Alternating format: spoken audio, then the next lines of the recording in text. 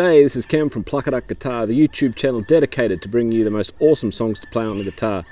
Uh, today we have something special, Classical Gas by Mason Williams. Hey, if you're new to Pluck A Duck Guitar, then um, let me tell you a little bit about it. I play the song on the guitar, and then the following video, I release the tablature. And um, we release new content weekly, and uh, so if you haven't subscribed yet, now's a great time to do it. Okay, let's get on with the tab.